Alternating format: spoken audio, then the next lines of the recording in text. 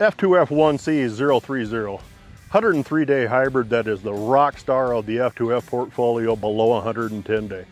030 is definitely your high yield, high management type hybrid.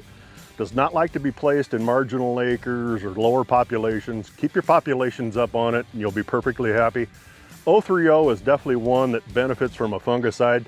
It really will benefit as far as protecting the high yield potential of 030 average to slightly above average plant ear height with 030, but definitely not unmanageable. Really good stalks and roots on 030, good late season intactness as well. Above average silage characteristics with a good grain quality.